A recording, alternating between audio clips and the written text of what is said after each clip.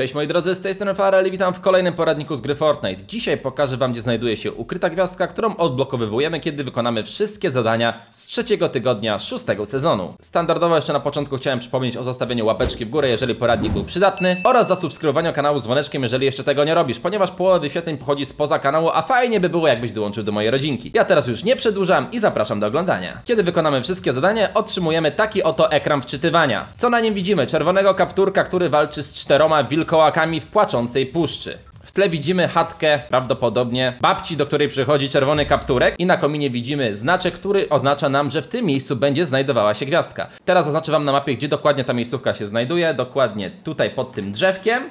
W tym gdzieś miejscu walczy czerwony kapturek z wilkołakami, tutaj. I w tle widzimy koło tego komina ukrytą gwiazdkę. Więc darmowy stopień karentu bojowego znajduje się tutaj. Proste, proste. To było na tyle z tego odcinka. Mam nadzieję, że w jakimś stopniu Wam pomogłem. Jeżeli tak, możecie się odwdzięczyć zostawiając łapeczkę w górę, subskrybując kanał dzwoneczkiem, ponieważ takie poradniki pojawiają się co czwartek. Chciałem Was zaprosić jeszcze do obejrzenia kolejnych poradników, które pojawiły dzisiaj się na kanale. Dziękuję jeszcze raz wszystkim za uwagę, trzymajcie się, cześć!